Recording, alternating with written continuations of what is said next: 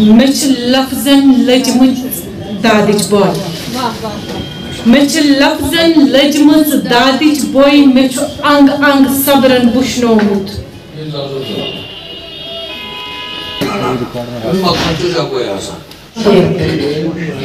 Çakar vıznöptön lal öndrim tüdam içyöptön amrit. Çakar potut yer yindras sağ tutut sazas.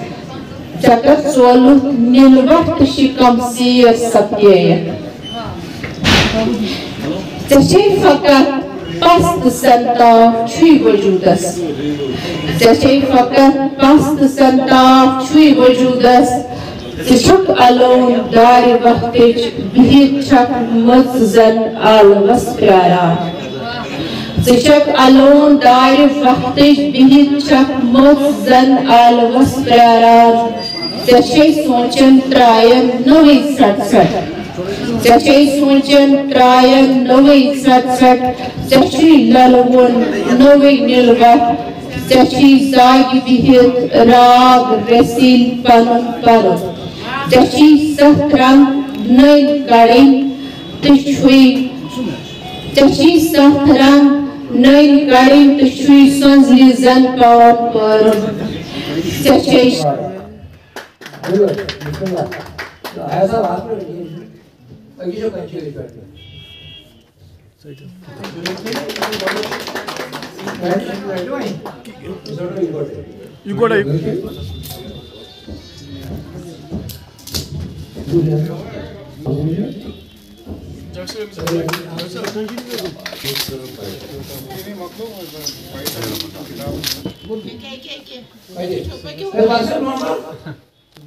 तालिया बोला साइनी किताबों से जुना कर दिया था जनरेशन का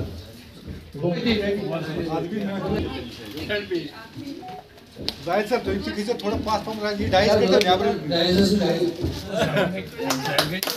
मुद्रा मुद्रा मेरे उनको बढ़ता है शुक्रिया माता बिस्मिल्लाह बिस्मिल्लाह बिस्मिल्लाह? ना वाकई में चोर सा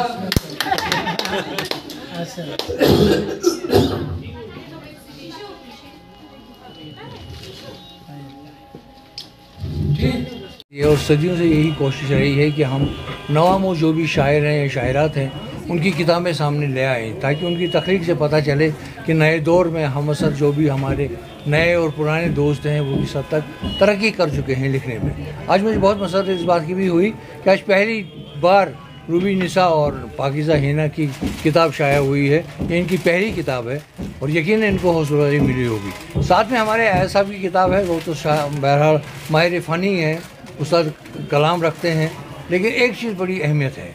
वो यह है कि बिना किसी स्लोगन के आपने देखा होगा इतनी शानदार महफिल में शमूलियत इस बात की दलाइल देती है कि जो अदब है वो हमारे इलाके में कम नहीं हुआ है।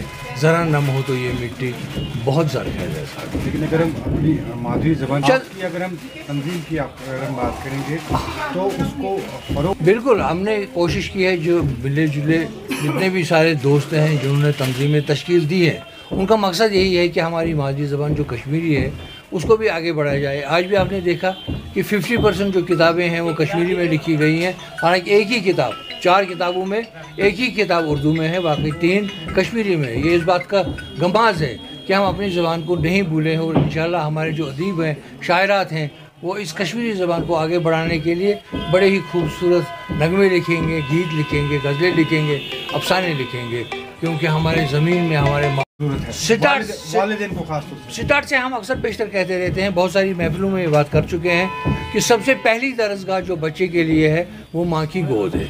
उसी गोद में अगर हम बेवन जिथे पैदा होता है वो नहीं सीखेगा। आते हुए कि कश्मीरी अपनी मादरी ज़बान। और सबसे बड़ी बात यह है कि वो कश्मीरी माँ से सीखेगा उर्दू स्कूल में सीखेगा इंग्लिश स्कूल में सीखेगा और तीन ज़बानें उसके सामने आएँगी।